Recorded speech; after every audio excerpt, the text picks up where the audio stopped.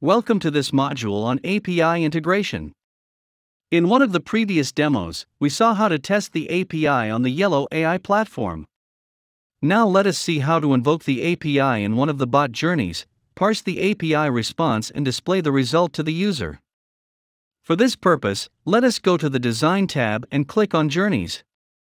Here, we have created a small journey to ask for a city from the user. We have stored it in a variable called city. Once we get the input from the user, we call the API action node.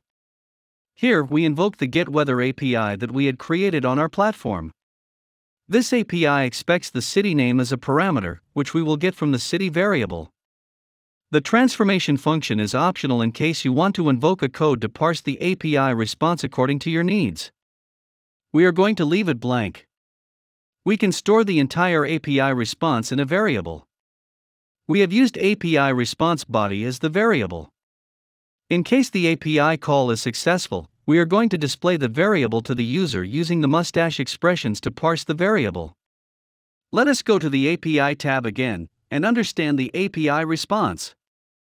Hit send and pass a city name as a parameter. We will see that the status code is 200, which indicates a success. And we get a JSON response. Let us try to display the longitude, which is a part of the coordinate object. So what we need to do here is to go to the Design tab under Journeys. We need to get the coordinate details from the response body, and this displays the longitude to the user. In this journey, we invoke the Get Weather intent which can be found in the NLU section. The Get Weather intent has a single utterance called What is the weather? This is what we'll be using to invoke the weather journey we see that the longitude is displayed as a result.